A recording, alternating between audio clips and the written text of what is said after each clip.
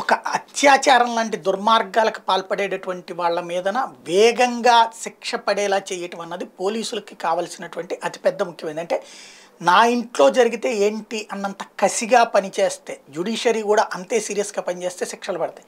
అత్యాచారాల కేసుల్లో ఏళ్ళ తరబడి శిక్షల నుంచి ఈ మధ్యకాలంలో జ్యుడిషియరీ బాధ్యతాయుతంగా స్పందిస్తోంది పోలీస్ డిపార్ట్మెంట్ బాధ్యతాయుతంగా స్పందిస్తుంది. అందుకే రెండు వేల ఇరవైలో కేసు మామూలుగా అయితే ఏ పదేళ్ళలో పట్టేది చాలా వేగంగానే చేశారు. ఇప్పటికే ఆలస్యమే కానీ రెండు వేల ఇరవైలో జరిగినటువంటి కేసులో ఇరవై ఏళ్ళ జైలు శిక్ష పడింది ఫోక్సో కేసులో. ఫోక్సో కేసులో నిందితుడికి ఇరవై ఏళ్ళు జైలు శిక్ష రెండు వేల ఐదు వందలు జరిమానా విధిస్తూ విజయనగరం ప్రత్యేక POCSO court judge K. Nagamani బుధవారం తీర్పు వెలువరించిన వెలువరించారు ఇందులో చూస్తే భోగాపురం మండలం పోలిపల్లి గ్రామానికి చెందిన దుర్గారావు నాలుగేళ్ళ వయసు ఉన్న బాలికపై రెండు వేల ఇరవై నవంబర్ ఇరవై ఐదున లైంగిక దాడికి యత్నించాడు. బాలిక తల్లి ఇచ్చిన ఫిర్యాదుతో దిశ పోలీస్ స్టేషన్లో రెండు వేల ఇరవై నవంబర్ ఇరవై ఆరున ఫోక్సో చట్టం ప్రకారం కేసు నమోదైంది. అప్పటి దిశ మహిళా పిఎస్ డిఎస్పి టి త్రినాథ్ దర్యాప్తు పూర్తి చేసి నిందితుడిని అరెస్ట్ చేశారు.